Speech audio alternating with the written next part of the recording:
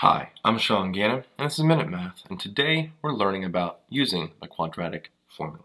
Minute Math, Minute Math, when you need help you use Minute Math. We're given this problem right here. 8n squared plus 7n minus 15 equals negative 7, and we want to solve this using the quadratic formula. First thing I want to do is get everything to the left-hand side and have it equal to 0. So I'm going to add a 7 to both sides. That gives us here, well, 8n squared plus 7n, and negative 15 plus 7 is a minus 8. That equals 0. Well, now we need our a, b, and c values.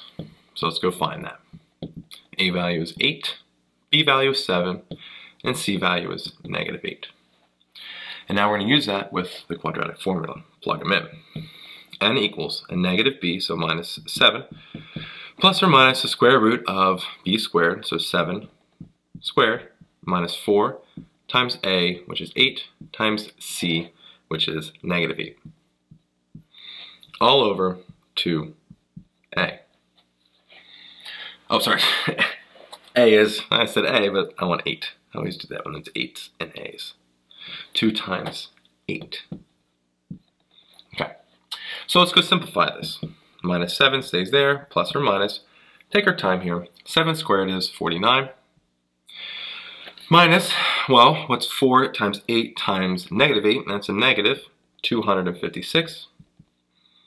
And minus a negative is adding a positive. 2 times 8 is 16. So let's simplify this a little more. Negative 7 over here, plus or minus. Well, 49 plus 256 is 305 and then we have 16 down here. And, well, this doesn't really simplify anymore. We have the plus or minus here, but square root of 305 doesn't really break down anymore. So we have n equals, we can write it separated, negative 7 plus square root of 305 over 16, and negative 7 minus square root, oh, forgot the square root there. Just getting everything here. Let's keep overly erasing. So negative 7 minus square root of 305 over 16. So these two right here are our final answer. Hope this video is helpful to you, and if it was, please subscribe to this YouTube channel and like this video. This helps us make more free math lessons for you and for everyone else. So as always, thanks for watching.